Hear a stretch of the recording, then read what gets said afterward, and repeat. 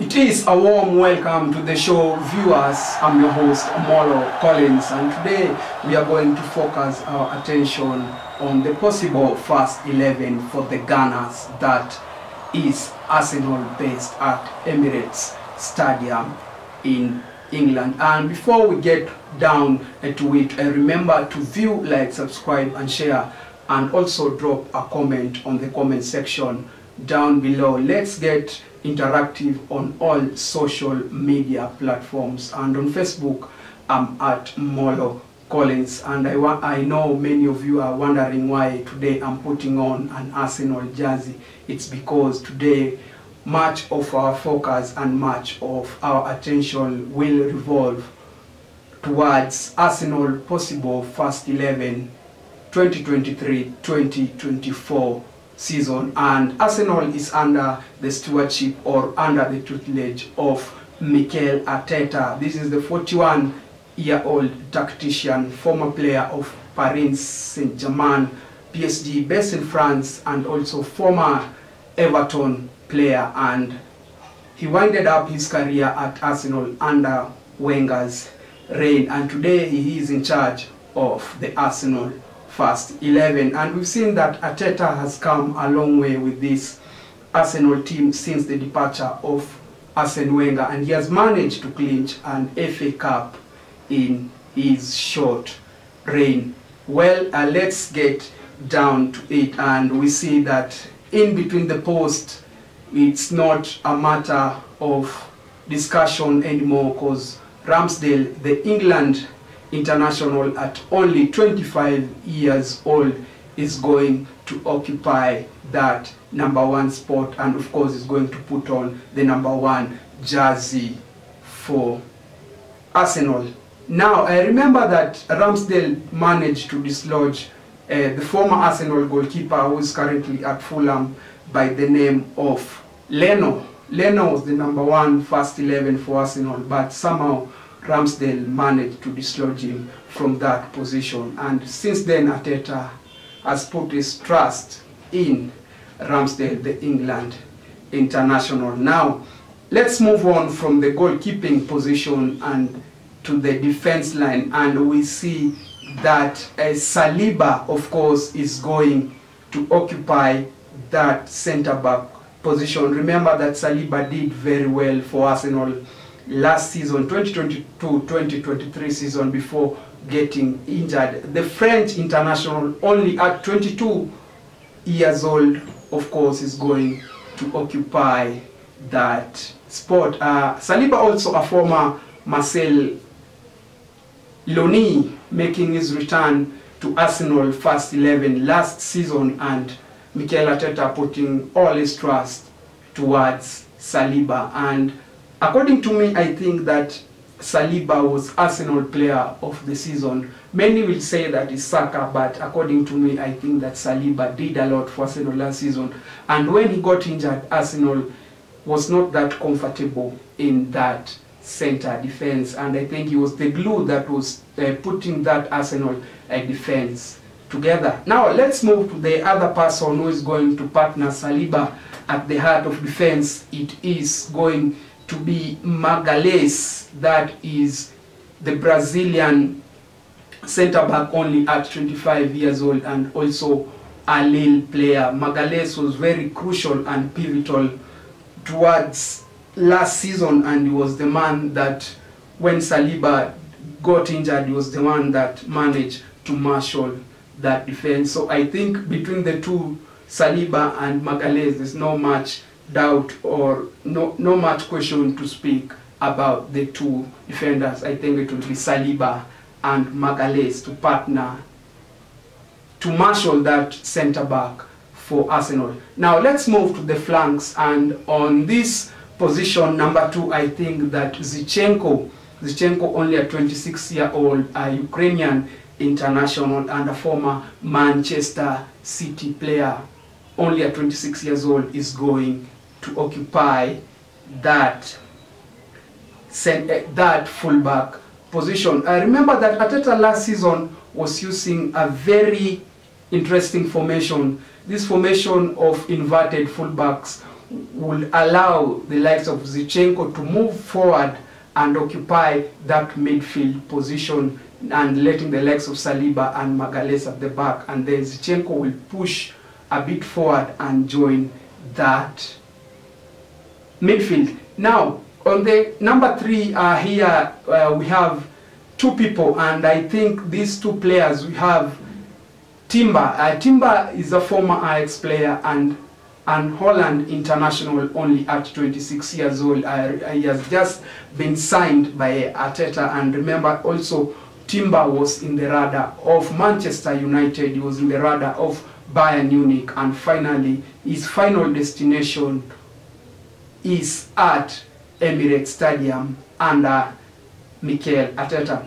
So it's going to be a push and pull between these two players. Uh, we have also Ben White on the other side who is also trying to get a spot on this Arteta first 11. Uh, ben White at only 25 years old, former uh, Brighton, uh, uh, Brighton player and also an England international did service for Mikel Arteta last season and he was very solid marshalling that defense together with the legs of Magalhaes and Saliba. Now, between the two players, I think that Timber is an all-round player and is going to occupy that position because his passing is very accurate, his tackling and is really fast and the way he keeps the ball is very interesting to see when Timber has the ball. So I think that Timber and White will are going to share at this position because the season is we have so many matches and towards the end of, of the season all the players will have played a lot of matches just to be precise about eh, 80 matches that is also considering the international friendly and also the international duty for their country so i think maybe timber and white will will have to share a number of matches in that position. Now let's move to this uh, midfield position and we have Thomas Partey, the 30-year-old Ghanaian international former Atletico Madrid, and many thought that Arteta was going uh, to let Partey go, and I was among one of the few who thought that Partey would finally move away, and Arteta went on and got the signature of Kai Havertz. Uh, this is a German international at 23 year old and is also a former Chelsea player, very exper experienced at that age, having won the UEFA Champions League with Chelsea. But I think Thomas Partey uh, remaining at Arsenal, it's a very important call for Mikel Arteta. I remember also that Arsenal did left, uh, leave that is Granit Xhaka, uh, the former Arsenal captain, has just uh, recently joined Bayern Leverkusen, now giving room for uh, for Mikel Arteta to choose in a midfield of four, maybe having Partey, having Odegaard, having uh, Jorginho, and also having their captain, that is Odegaard. Now let's move to the other side of that midfield, and we have Declan Rice, and only at 25 years old, former West Ham captain, and this is the most expensive player in the history of English uh, Premier League, having be, been bought by 105 million pounds, breaking and shattering uh, the record that was previously held by Jack Grealish when he was signed to Manchester City uh, by Pep Guardiola. So I think the other person who is going to partner Partey in that midfield is no doubt Declan Rice. And on the other side of that midfield, I think also we have Odegaard. Uh, this is former uh, Real Madrid player, a Norwegian international, only at 25 years old. And remember that Odegaard was in a very impeccable form last season, scoring a total of 15 goals and also a number of assists. To be precise, he had seven assists. Now, I, I, this is very interesting. This is where it gets interesting because I think that Partey will have to sit in front of that defense, then let the likes of Odegaard and Rice push forward. Uh, remember that Rice is very good uh, when giving assists and playing on the upper side of the pitch, trying to feed the likes of Saka, Jesus, and of course Martinelli. And on another scenario, it will let it will be that Partey will sit in front of that defense uh, also with Rice and let uh, now Odegaard rove as a free player or maybe as a false number nine. Now that is the midfield for Mikel Arteta. And now let's move uh, to the flanks. And also this is where it also get interesting because we have Saka. This is a 21-year-old England international. I remember that Saka was first given his debut